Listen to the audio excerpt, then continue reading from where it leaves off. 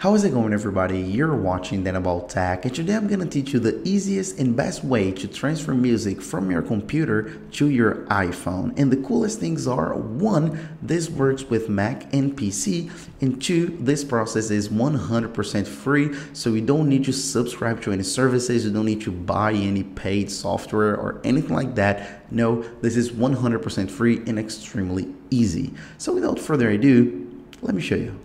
Okay guys, so in order for us to transfer music from our computer to our iPhone, we will need to use iTunes. As I said, this is free. iTunes is a free software, so we don't need to pay for anything. And if you are using a MacBook or any Apple computer, you actually don't need to download anything because of course that's a native app on Apple computers, so we don't need to download anything. It's already here. But if you're running Windows, you will need to download iTunes if you haven't already. So I'm gonna have a link in the description. Okay okay again a free download in the description. Go ahead and download iTunes. Download and install it okay? So as soon as you have it in your Windows computer or if you're running a Mac you don't have to do anything. All you have to do really is plug your iPhone to the computer. So get an authentic Apple cable. Uh, make sure to see uh, which port your computer has if it's USB or USB type C okay? And just normally plug it in okay? So plug it into the computer and then plug it into your iPhone. Okay, we're gonna need to do this process wired. So it's not gonna be wireless, all right? So it's charging, as you guys can see right here. And now we can leave our iPhone. We don't need to touch it or do anything with it. It's all from the computer, okay? So now that it is plugged in, you're gonna go ahead and open up iTunes. But there's only one small difference, uh, and I have to tell you. So if you're running like I am, uh, if we're running macOS Catalina, so the latest version of macOS, uh, we're gonna do this using Finder. Okay, so instead of using iTunes, we're gonna use Finder. But that's pretty much the same thing. It works the exact same way, it's just the layout is a little bit different. So again, uh, if we're running the latest version of macOS, so Catalina or Big Sur, depending on when you're watching this, you're gonna use Finder for this process. If we're using older versions of macOS, or if we're using any version of Windows, we're gonna do this with iTunes. But again, this, the layouts, everything is pretty much the same.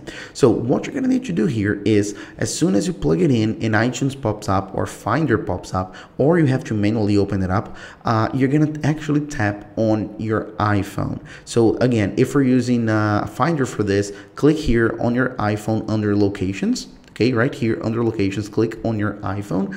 But if you're running itunes it's going to be a small iphone icon which i'm going to put on the screen right now. So as you guys can see uh, the arrow pointing to it yep that's where you have to click. As soon as you click on it you're gonna see a screen very similar to this and then you're gonna go ahead and tap on music. Um, if you're running if you're doing this on iTunes music is gonna be right here on your left on your left again on the screen right now. So we're gonna see it on your left music so click on that. If we're doing that on Finder music music is gonna be right here. Okay so now that you're seeing your music, uh, just to prove with you that there are no gimmicks or anything, I'm gonna open my music app and as you guys can see, there are no songs, there's no music at all here on my iPhone. So it's completely blank, as you guys can see, okay? And I'm gonna even uh, put it here so you guys, you guys can see it working in real time. So I'm gonna have my iPhone right here, okay?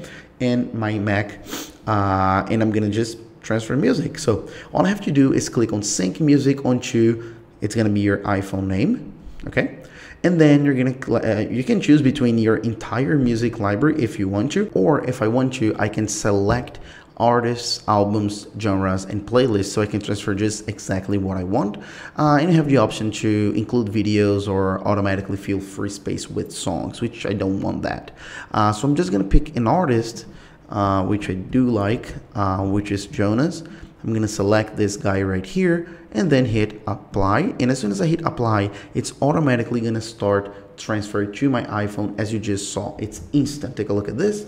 So it's instant. So all my albums from this artist are going to be right here on my iPhone as easy as that transferred. And then um, that's it honestly that's pretty much it so with this process you can pretty much transfer your itunes library to your iphone for free very easily. Uh, you just need a cable really and that's it. So you can pick any song you have any mp3 song you have all your songs.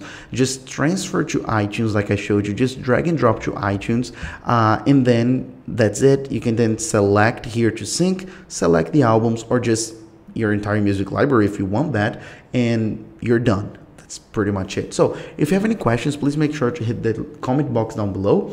Um, I'll be happy to reply to those. And if you like this video, please make sure to hit the subscribe button with the little bell icon to get notified whenever I post a new video. And also hit that like button because it really helps me a lot. So that's pretty much it. And I'll see you guys in a few days, guys. Bye bye.